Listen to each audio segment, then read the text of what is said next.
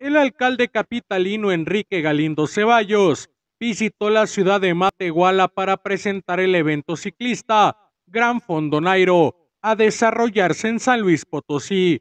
Ahí destacó el trabajo que está realizando el presidente municipal, Iván Estrada Guzmán, al frente de su administración. Un alcalde que anda en bicicleta y la gente lo saluda, lo saluda con afecto, lo reconoce a él, a mí, eh, pues es un alcalde que está trabajando y, me dio mucho gusto eh, que él libremente transita por la calle, por sus calles, por su centro, que es un centro ordenado. La verdad es que no me queda más que felicitar al alcalde y, a, la gente de Matehuala.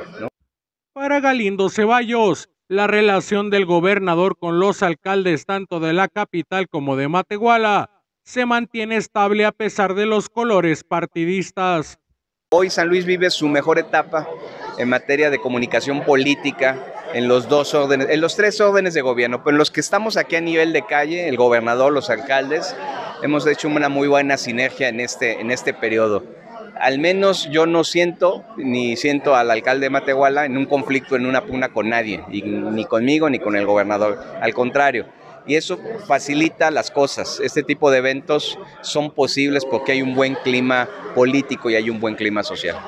Al final aprovecho para agradecer al gobernador del estado Ricardo Gallardo el respaldo para llevar a cabo acciones en beneficio de la ciudadanía.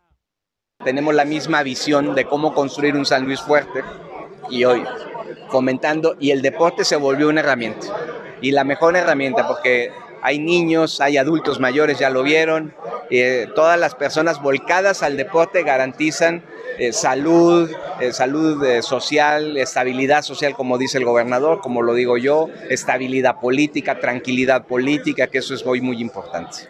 Jesús Valencia, corresponsal Son Altiplano, Noticieros Canal 7.